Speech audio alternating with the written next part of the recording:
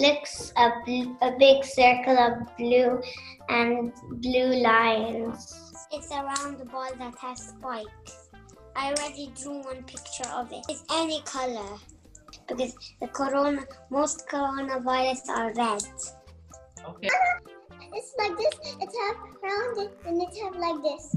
Spikes. Uh, and it's, it's green. Wincy, wincy, you cannot see, see it. What corona looks like. Some some green.